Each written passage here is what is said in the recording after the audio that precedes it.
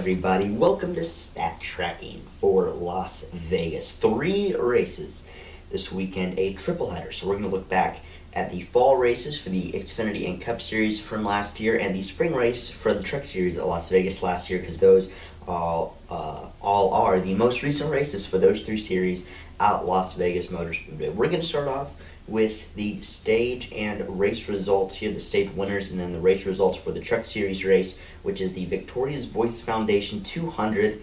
Um, gonna be a fun one on Friday night. Kyle Busch is in this race. Um, I'm not gonna give him a pick yet, but he is very high on my board.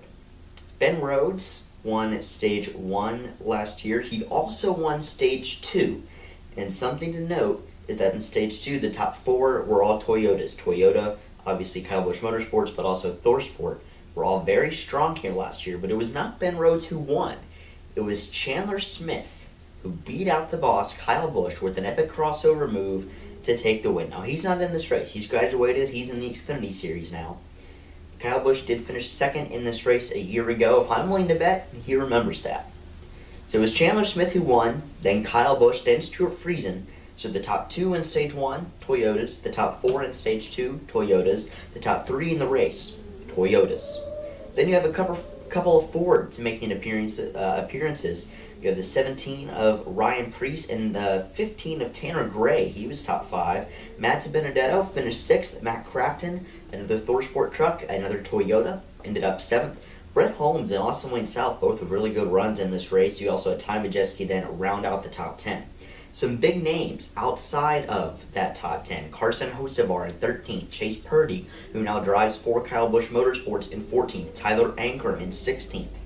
Um, John Hunter Nemechek only ended up 25th. He's obviously graduated these Xfinity Series as well. Christian Eckes and Ben Rhodes were both caught up in incidents, as were Hailie Deegan and Zane Smith. Uh, no, no, no, no, no, I'm sorry. No, Chandler Smith beat out Zane Smith last year, but I remember now it was lug nuts. It was a lug nut issue on Zane Smith. Um, or he got DQ'd. Maybe it wasn't lug nuts. He got DQ'd regardless, and he was credited with the last. So I think he had 19 top 10s last year. Really should have been 20, uh, but that Las Vegas race he got penalized. He drove a great race, but unfortunately for him, it didn't really matter. If we're looking at a team to watch, I know Jack Wood and Chase Purdy aren't the most electrifying team, they were all right at Daytona, but just adding Kyle Busch to your lineup elevates it so much. I think KBM has to be the team to watch. As for manufacturer, you add Kyle Busch to the lineup. Um, no, no, no. As for manufacturer, KBM's a Chevy now. I, am I'm still going to give it to Toyota. Um, they have ThorSport, or no, they don't have ThorSport. No, because they're Fords now. Chevy or Ford? I'm going to go Ford. Yeah, because they also have Zane Smith. Um, Kyle Busch, just one driver is not going to do it for Chevrolet. There aren't any other huge Chevrolet teams. Maybe Matty D, he was sixth here, but yeah. Um, yeah. So let's go now look at the 2022 fall race at Las Vegas for the NASCAR Xfinity Series, which I know Berry won it in 2021, filling in for Michael Annett. Did he win it in 2022 as well? Was that the race where he locked himself in, or was that Homestead? Um, I can't remember. I'll have to see. This race is going to be 300 miles long. Cup Series 400 miles long. Truck Series 200 miles long. Look at all the points standing in the weekend schedule and the respective pre-race shows, which will all start tomorrow. So the fall Las Vegas race winner one year ago um, was mm, it was Josh Berry. Okay, uh, they actually ran 302 miles in this race, um, the fall race. Let's look at the stage winners and the race results. Wow, three JRM cars in the top three, three Chevys in the top three before a couple of JGR cars there Ty Gibbs and Trevor Bayne, respectively. Stage one was won by Ty Gibbs. Obviously, he's in the Cup Series now. But keep an eye out. Toyota really fast uh, last night in the Xfinity race. John Hunter Nemechek won the won the race. You had Sammy Smith, who was a contender late until he spun. Noah Gragson took away stage two over Gibbs and Brandon Jones, and then Josh Berry won the race with Noah Gragson coming in just behind him, and then Justin Allgaier in third.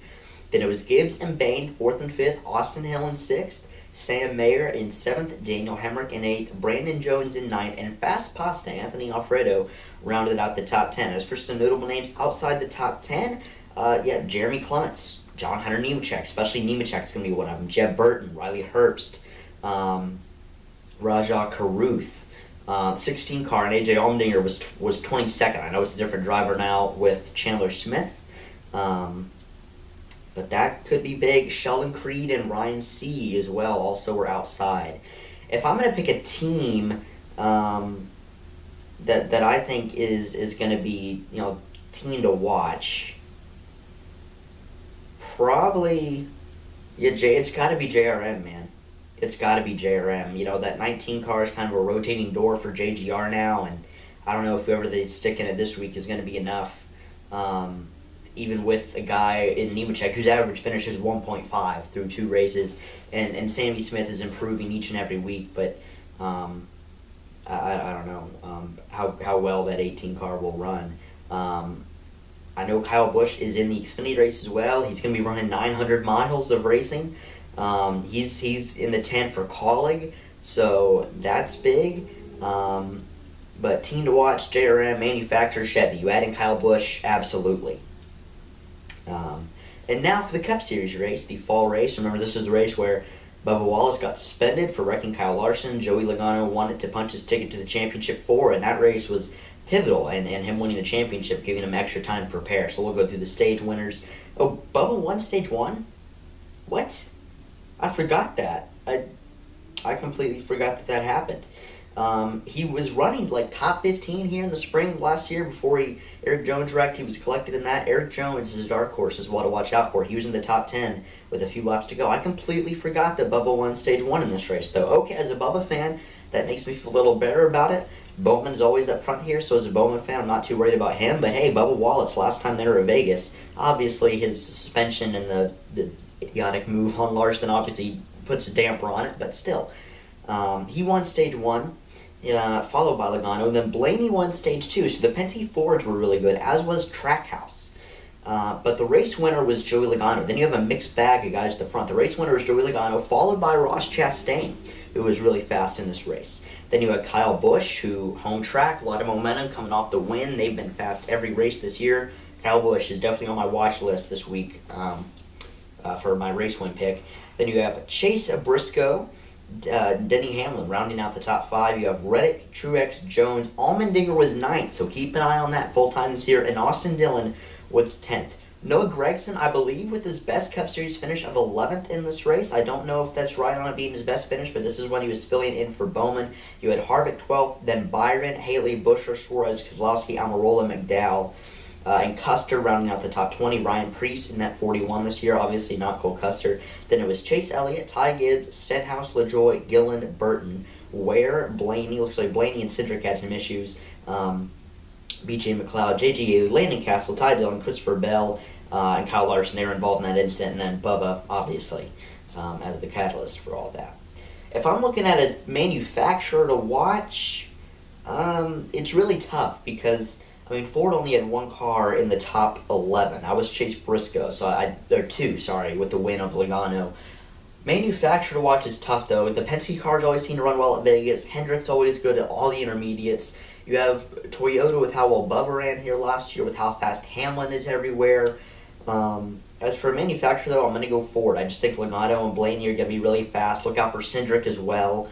Um, and then you also have, you know, Kevin Harvick, Chase Briscoe that ran, you know, decent here last year. Um, I'm going to go with them. As for a team to watch, though, um, it's only a two-car team, but you can't not say RCR. I didn't pick Chevy as a manufacturer just because not all their teams right now are firing on all cylinders. Um, but I think RCR, Dillon got a top 10 here last year. He was ninth in California. He has some momentum. Kyle Busch, obviously, I mean, they deserved a lot better. They deserved to finish a lot better than they did. They probably win their Daytona duel without Suarez wrecking them. They might. They win the Daytona 500. They were leading at lap five or at lap 200. They were leading at the 500th mile. They've just been so fast everywhere. It's a home track. Unless something goes terribly wrong, he gets dumped, an engine blows. Kyle Busch is going to be there at the end. Um, But you also have to look at, you know, Bowman, who won this race a year ago. He was up front in 2020 before Greg Ives made a pretty terrible pit call, as was Blaney in that race. Joey Logano's won here multiple times. Uh, Chase Elliott, Kyle Larson, William Byron, and always up front here. This is one of those drivers' racetracks where the top of the, the you know the guys that always make the playoffs, that are always winning races, that are always winning championships, really rise to the top, and I think that's what will happen on Sunday. So stay tuned for uh, uh, sorry pre-race shows all week long. Um, post-race show, and that's going to be a little hectic. It's going to be a hectic week, but uh, look out for a pre-race show like uh, podcast, probably by myself tomorrow, and then uh, with Emily, the podcast below the yellow line, same podcast, but you know having her on again uh, to discuss this past weekend's race and to discuss Vegas, uh, which is coincidentally her favorite track. So thank you all for watching. Like, subscribe, comment, share. Go check out the Below the Yellow Line podcast on all major podcast platforms. Thank you all so much for watching. I am Samuel Stubbs on the Spotter's Stand YouTube page.